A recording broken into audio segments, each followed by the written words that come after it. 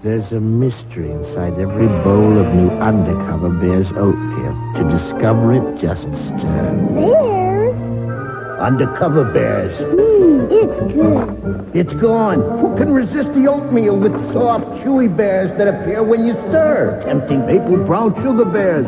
Strawberry, too. And part of this balanced breakfast. Breakfast? There he is. I got it! New undercover bears oatmeal. Case closed.